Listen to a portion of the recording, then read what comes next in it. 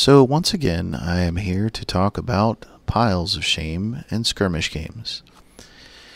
Now, as you can see, I have obtained some things from Mini- Miniature Market while they were doing their uh, their last big sale, and I want to say I picked up each one of these boxes for anywhere between two dollars to eight dollars a piece, including some of the bigger boxes.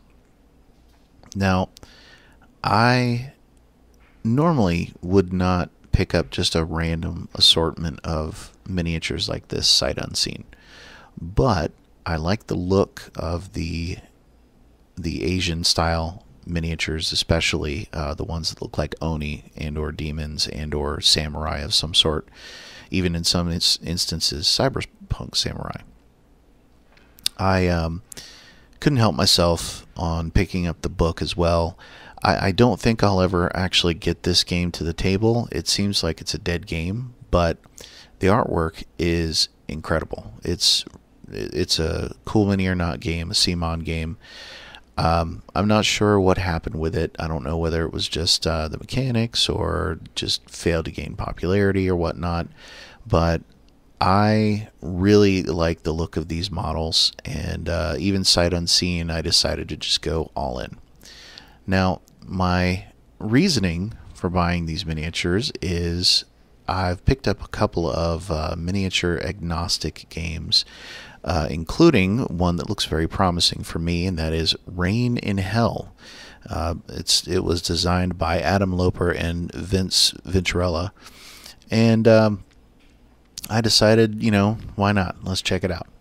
So originally, I had actually picked up just this one box here, just the uh, the Shael Han for Wrath of Kings, uh, because of the fact they had the uh, the more Asian, uh, Chinese, and Japanese type look to them.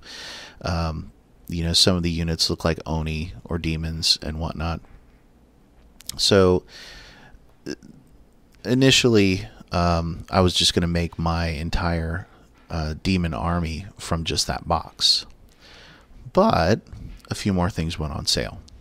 So what I've decided is that I'm going to use the Pelagarth box uh, from House Nasier and I'm also going to use uh, one of the Oni women from the Shael Han, and uh, the Oni is going to be my leader, and the uh, devout demon is going to be the Pelagarth. If I decide to expand, I may use these guys as well. Uh, but for now, I'm going to make a team of succubi using the Earthbound um, philosophy from the game. So the first thing I wanted to do was to put together my leader and put together uh, the devout demon that follows her. Now, of, of course, the, the first thing I do always before I start clipping and cleaning and, and gluing and whatnot, always dry fit the miniature. Okay, I don't care what miniatures you're messing with, whether it's Games Workshop, off brand, whatever, it behooves you to dry fit first.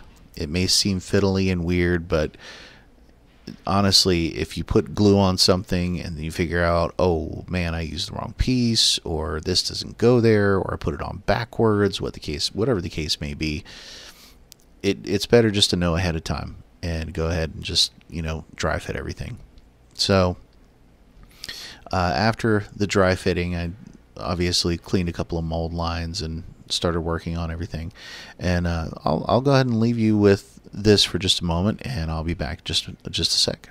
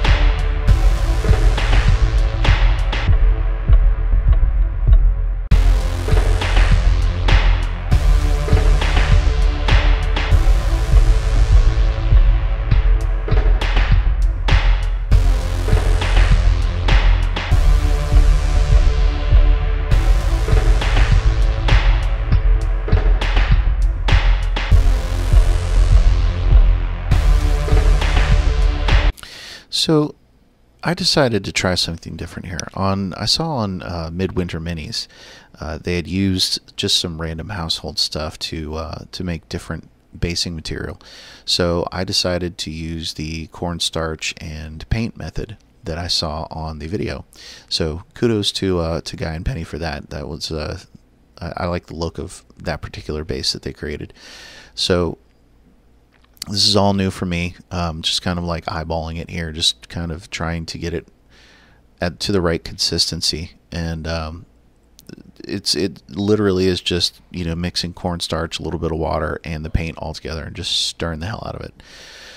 Now, initially, um, I, I didn't know what color to use, and then I realized I'm probably going to go ahead and just prime over it and then repaint it. So it, it kind of doesn't matter for me which color that I started with or that even you start with, depending on what you're going to do with it.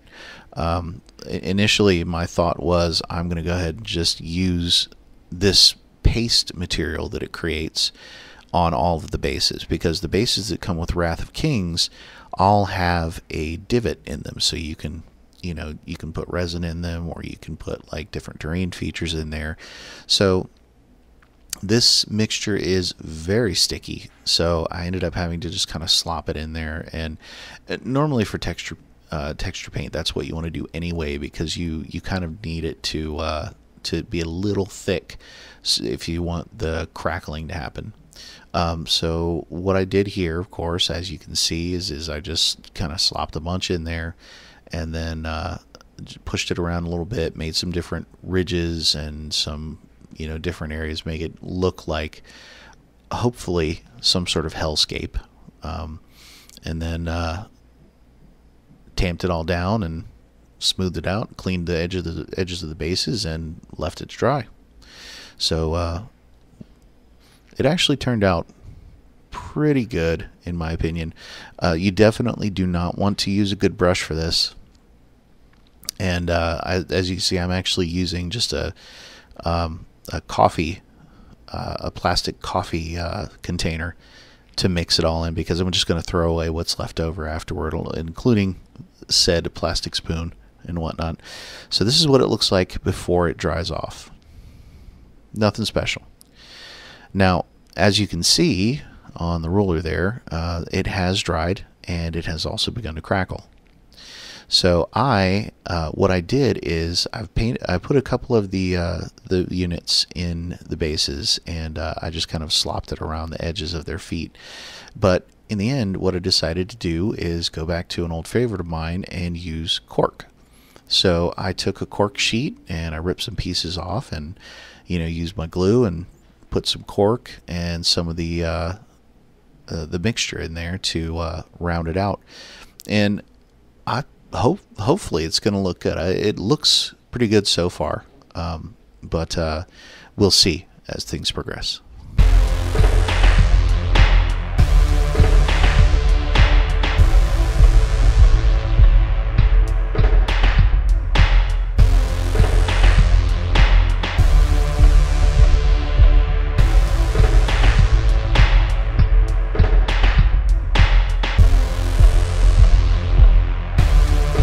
So as you can see, this is the finished product. I still have to wait for the uh, basing material to dry, but I think it turned out pretty good. So um, I do plan on painting them soon, but for now, like and subscribe, and uh, I hope you'll return. Thank you.